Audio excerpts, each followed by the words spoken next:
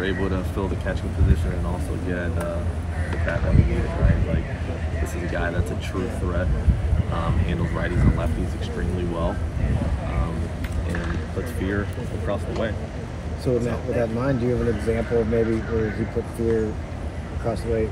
Yeah. I, I've communicated. I, I, I, I did not like playing against him for several reasons, and he made it very clear that he was intentional about making sure we didn't like him. So um, that's always good to know that someone can um, make you feel that way across the way and being intentional with it. Because now you have him on your side, and uh, you add that to the other guys we have in that clubhouse. I wouldn't want to face this. We'll continue to be strategic with that position. We will because it, it, it allowed us to do a couple things last year, and we'll continue to do it this year. Is get Goldie off his feet, get Nolan off his feet, um, and allow them to still bring their bat to the to the team that day without having to play defense. And, and we'll continue to do that and be mindful as to how we move guys around. But uh, that plays for Willson as well and, and others um, that are going to compete to be the righty and lefty off the bench that can fill that DH position. So, yeah, it's um, we'll continue to be strategic with it.